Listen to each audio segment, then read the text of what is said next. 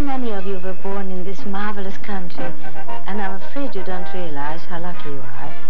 I became an American by choice. I was born in Hungary, and as you know, it has been taken over by the communists.